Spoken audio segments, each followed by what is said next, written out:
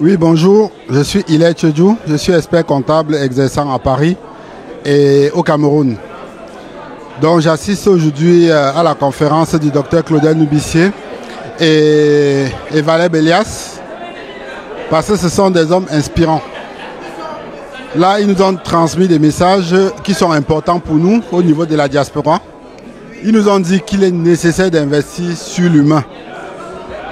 Donc c'est quelque chose de très très très sensible parce que je pense qu'au niveau du Cameroun et en Afrique en général, les gens ont besoin de modèles pour pouvoir avancer. Nous allons nous battre de ce côté-là.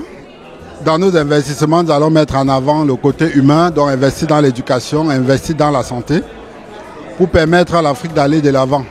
Merci.